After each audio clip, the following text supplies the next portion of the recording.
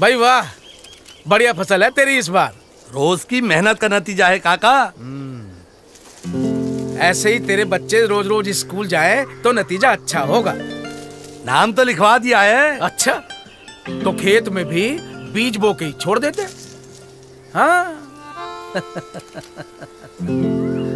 सुनो काम छोड़ो स्कूल जाओ। स्कूल में सिर्फ़ नाम लिखाना काफ़ी नहीं मुन्ने मुन्नी को सीखने का पूरा मौका दें। आइए उन्हें रोज स्कूल भेजें।